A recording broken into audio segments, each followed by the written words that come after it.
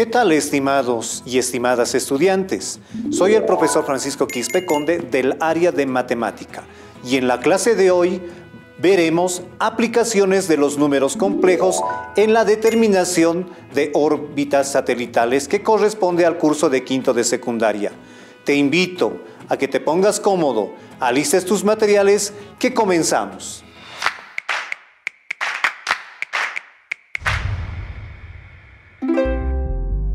Atención Bolivia, vamos a ser testigos del lanzamiento del primer satélite boliviano.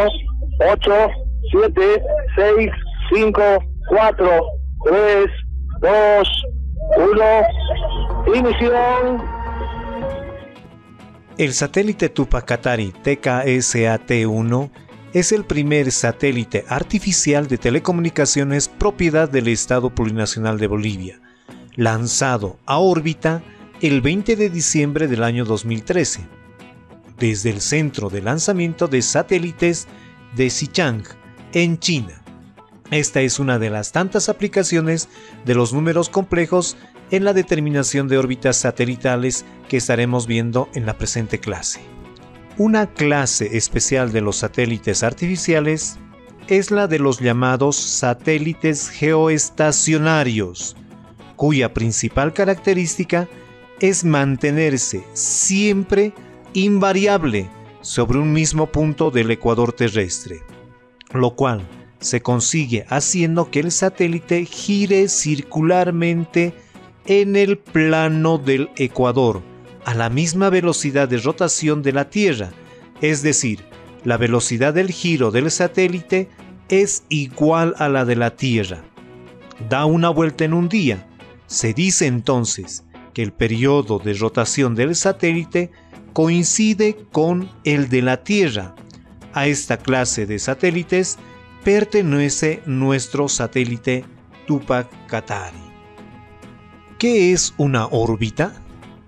Una órbita es una trayectoria de un cuerpo alrededor del baricentro. Y si hablamos del sistema solar y nos referimos al baricentro, que enseguida lo vamos a definir y a recordar, estaríamos hablando del Sol.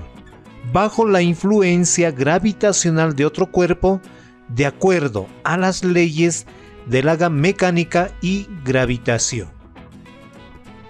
Hablemos ahora sobre la importancia de las órbitas en una misión que defina la órbita. Y dentro de ellas tenemos requerimientos de lanzamiento. Luego, los ciclos de calentamiento, enfriamiento. Posteriormente, otra importancia, ciclos de acumulación de energía solar. Continuemos con la importancia de las órbitas, orientación de la nave. Otra importancia, cobertura de observación y comunicación. La siguiente importancia, distancia de observación y transmisión de datos. La siguiente importancia, tiempos de revista. Tenemos también el tiempo sobre una localidad y finalmente la duración de vida útil del satélite. Estas son las importancias de las órbitas de una misión que defina la órbita. Para poner un satélite en órbita necesitamos de los siguientes datos. Primero, debemos de considerar la altura respecto de un punto dado, que lo vamos a denominar la altura h. Luego, debemos también de tomar en cuenta la velocidad. Y la velocidad debe ser, como habíamos indicado, juntamente el sentido de rotación de la Tierra. Y a partir de ello, vamos ya dando o aplicando algunas leyes como la de Kepler y el enfoque de la ley gravitacional universal para dar movimiento al satélite. Y esos son los datos que se ha tomado para poner en órbita el satélite Tupac Katari. Ahora hablemos un poco de Kepler. Kepler, figura clave de la revolución científica, fue un astrónomo y matemático alemán, conocido fundamentalmente por sus leyes sobre el movimiento de los planetas en su órbita alrededor del Sol. Fue colaborador de Tycho Brahe, a quien sustituyó como matemático imperial de Rodolfo II, nacido el 27 de diciembre de 1571. Como estaba concentrado sus ideas en las leyes del movimiento de los planetas, para los satélites se toma especialmente la tercera ley de Kepler o la ley de los periodos, que nos indica la tercera ley de Kepler se conoce como ley de los periodos o ley de las armonías. Permite comparar las características del movimiento de los planetas entre sí. La comparación toma en cuenta el periodo orbital y el radio de órbita de cada planeta. El periodo orbital es el tiempo que demora un planeta al dar una vuelta completa al Sol. El radio de la órbita, que ya habíamos definido que es órbita, es el semieje mayor de la elipse. El enunciado de la tercera ley de Kepler es el siguiente.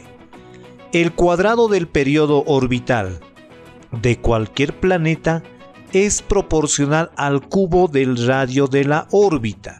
Entonces tenemos que tomar el número de vueltas que da una órbita o un planeta y debe ser proporcional al cubo del radio de la órbita, desde el punto central que habíamos hablado hace instantes.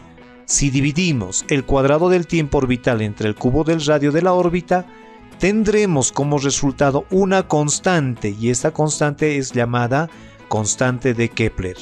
La constante de Kepler es igual para todos los cuerpos celestes que orbitan alrededor del Sol, que no dependen de ellos sino de la masa solar.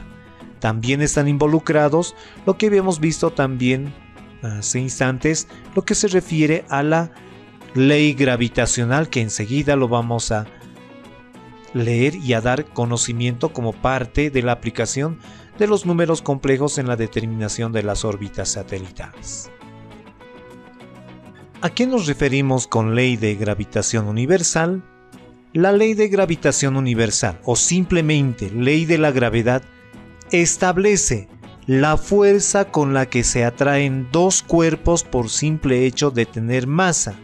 Esta ley fue desarrollada por Sir Isaac Newton en el tercer libro de su obra, Principios Matemáticos de Filosofía Natural, titulado sobre el sistema del mundo. No se olviden entonces que para mayores datos, la gravedad viene a ser 9,81 metros sobre segundo cuadrado a nivel del mar. Entonces, de esta manera, queridos estudiantes, hemos visto la aplicación de los números complejos en la determinación de las órbitas satelitales y viendo también a grandes rasgos algunas leyes físicas como la ley de Kepler y la ley gravitacional universal. Esperando que les haya agradado la clase de hoy, en la que vimos las aplicaciones de los números complejos en la determinación de órbitas satelitales, les invito a que revisen los textos del Ministerio de Educación. Hasta la próxima. Bolivia. 2021, año por la recuperación del derecho a la educación. El uso del barbijo es obligatorio.